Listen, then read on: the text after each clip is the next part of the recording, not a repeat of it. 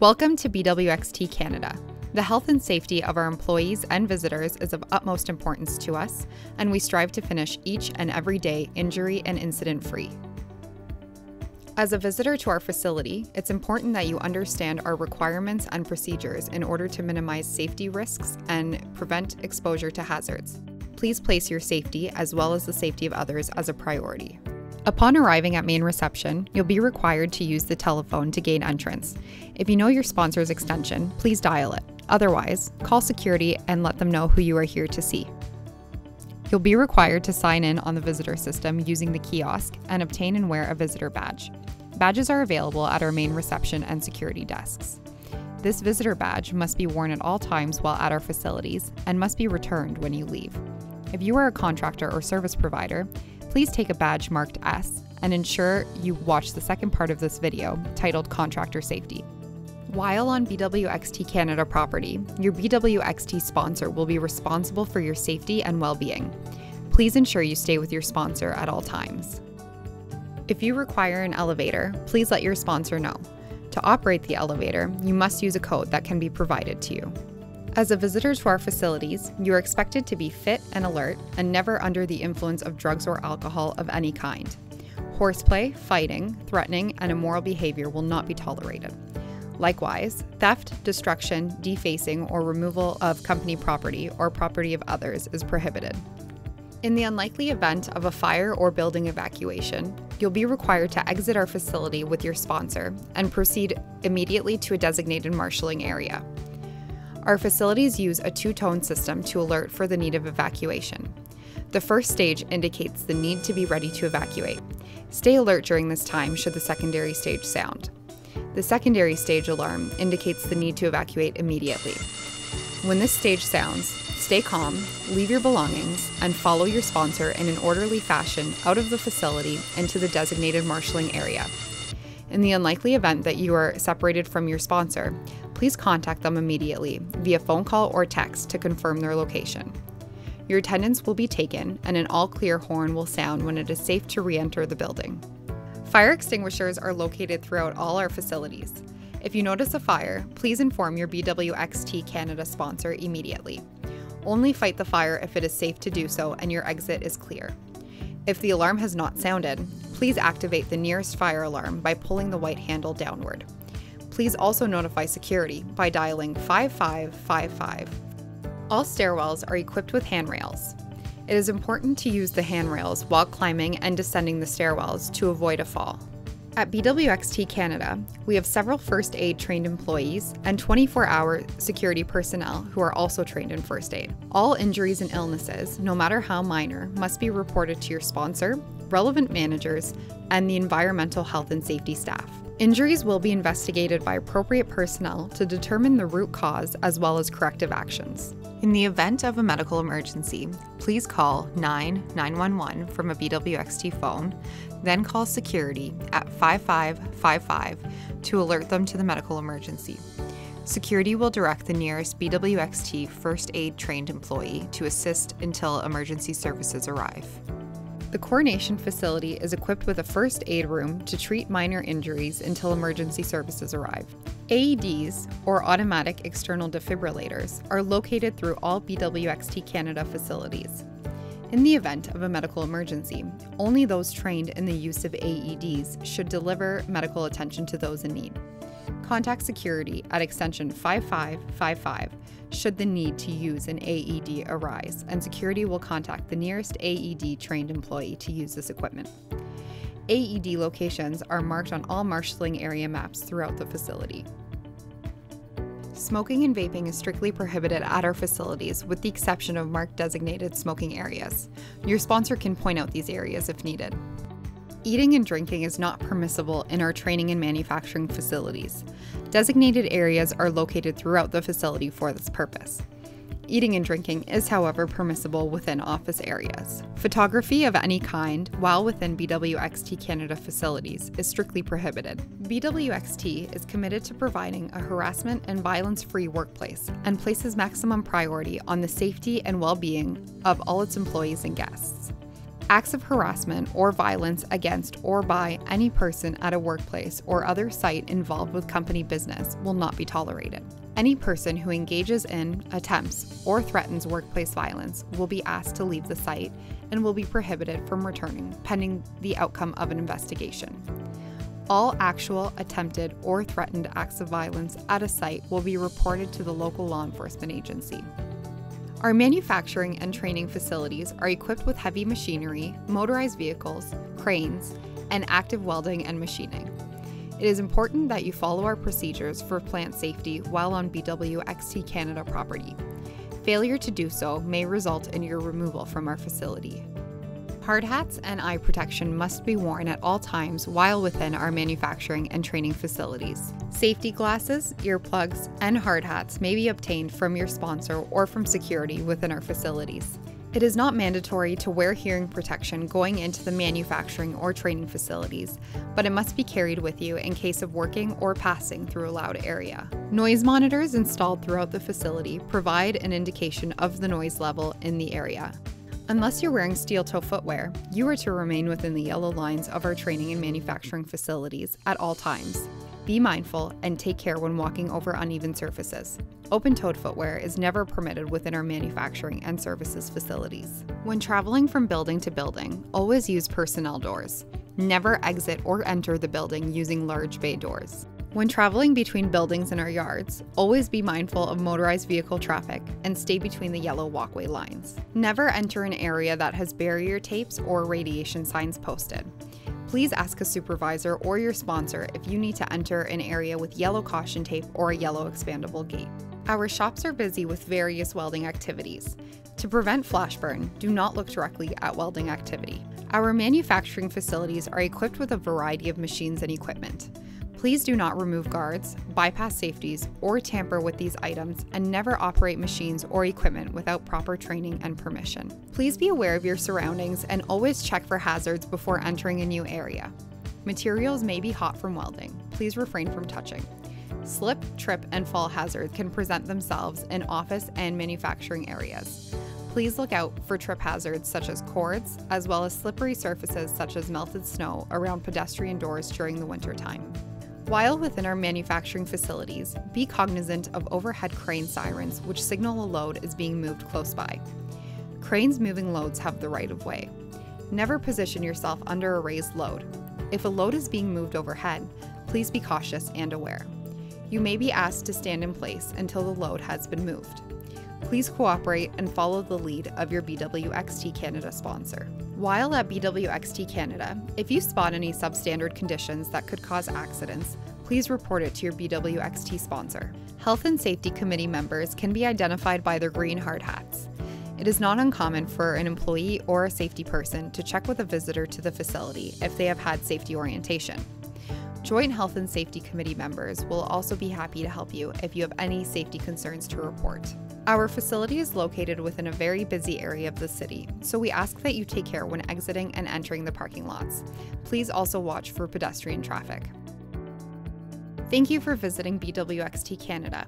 We hope your visit with us is productive, informative, and most of all safe. If you are a visitor of BWXT Canada, your safety orientation is now complete. If you are a contractor that will be performing work at our facilities, please continue on to part two of the safety orientation.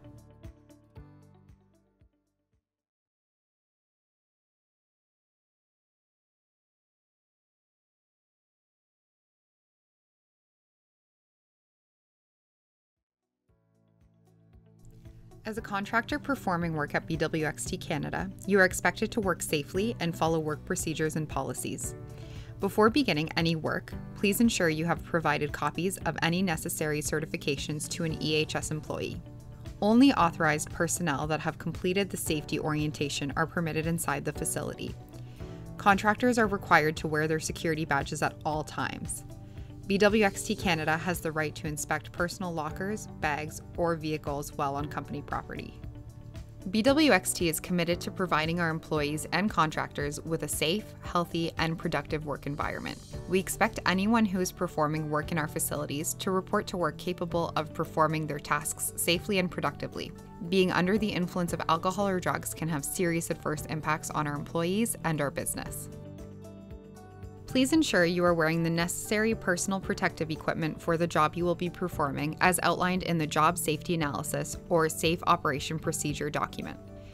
A job safety analysis must be provided to EHS before any high risk work may be performed at the facility. A minimum requirement of hard hat, safety glasses with side shields, and safety boots must be worn. Hearing protection must be worn when the noise monitor light is red, or if you are working near or performing the following types of work grinding, gouging, chipping, or pneumatic tool work. When working near or performing arc gouging, double hearing protection is required. If at any point you have a safety question or concern, please direct it to your BWXT contact or a safety representative who can be identified by their green hard hats. Shorts, muscle shirts, and open toed shoes are prohibited while in the manufacturing and training facility. No jewelry of any kind may be worn when working with rotating tooling and equipment or while welding. Keep loose clothing, including hoodie strings, away from rotating parts. Gloves are exempt when working with rotating equipment. Prior to beginning work, every worker shall ensure that they have looked for and controlled area hazards. Please ask your BWXT contact for assistance if you have any questions. Fall protection is required for work at heights greater than 2 meters or 6 feet within 2 meters of the roof's edge or when working on an elevated work platform. This policy is strictly enforced, and those found working without fall protection equipment could be asked to leave. A valid working at heights certificate must be presented prior to work. A valid mobile elevated work platform operator's license must be presented prior to operating any mobile lift. Permission must be obtained before operating a BWXT lift. While performing work on an elevated lift, barrier tape must be used to establish safe work area around the lift. Work overhead signage must be posted alongside the tape. If performing work on the roof, a safety plan or job safety analysis, also known as a JSA, must be submitted to the EHS department before work can commence. Contractors must inspect the roof for weakness and other unsafe conditions prior to work. Any open areas or holes on the roof must be covered, protected by guardrails, and or fall restraint must be worn.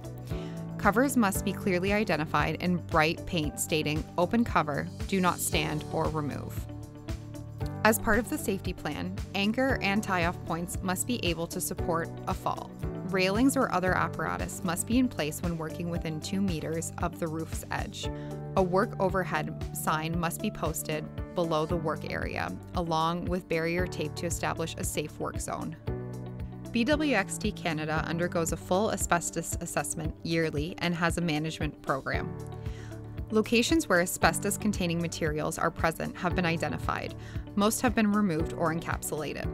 A specific procedure must be followed if performing cutting, burning, and or grinding operations on the transite siding on the container shop walls due to the asbestos. All identified asbestos is promptly removed by an outside vendor that is trained in the removal process. Any remaining friable materials that could not be encapsulated or controlled due to their location is regularly inspected by an external vendor. If a substance that is thought to be asbestos is encountered during work, all work will immediately stop.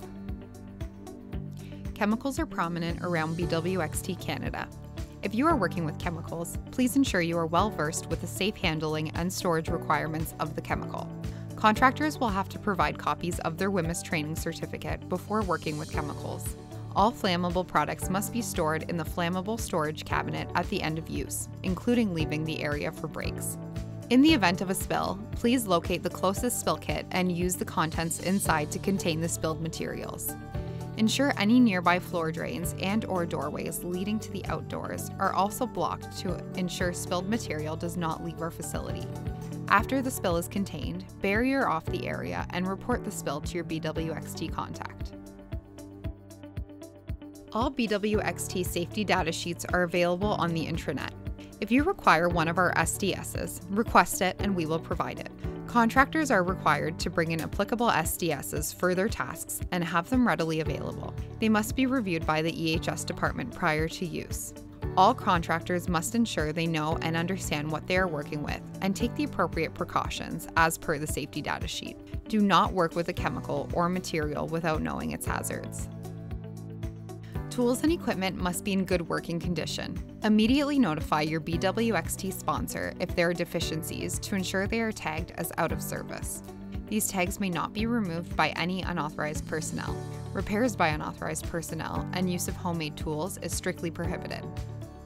Lockout tags ensure equipment is properly shut off and not able to be started up again prior to the completion of maintenance or repair work. A lock may only be removed by the person that performed the lockout. All elements of the lockout procedure must be followed without exception. All contractors must have their own locks and coordinate lockouts with the maintenance department. Housekeeping is everyone's responsibility. Each shift ensures the work area is in acceptable condition prior to the end of the shift. The supervisor will ensure all materials and equipment are secure and barrier tape and fencing is in place. Materials may not be leaned against walls, fixtures, or in areas where they could fall on others. All tools and equipment must be returned to their designated storage areas when not in use. Cords, cables, and hoses will be managed to prevent slips, trips, and fall hazards. Please follow all elements of the Safe Work Plan. All hazardous waste must be collected and placed in the appropriate drum or container. All contractors are expected to remove their waste from the site upon completing their work. Hazardous waste is not permitted to be put down any drains. Cardboard and metal waste may be placed in the appropriate containers.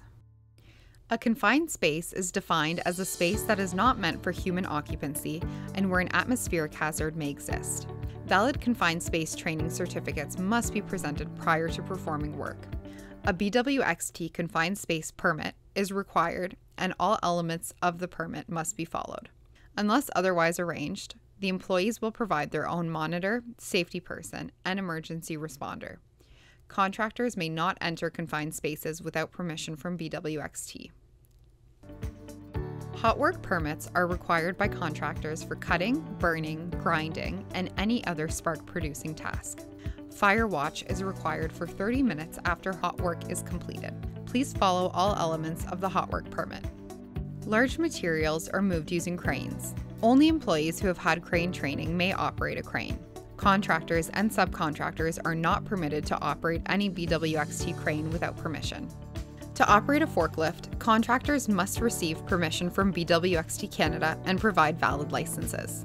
As a pedestrian, always ensure the forklift operator can see you, Never walk directly behind a forklift. When driving in our yard, all vehicles must adhere to the posted 15 km per hour speed limit and obey all stop signs and other traffic signs. Please be on the lookout for pedestrians. All steps, stands, and ladders must be checked prior to use. Please report any problems to your BWXT sponsor. Contractors are only permitted to use the fiberglass ladders. BWXT Canada property is on a live rail line.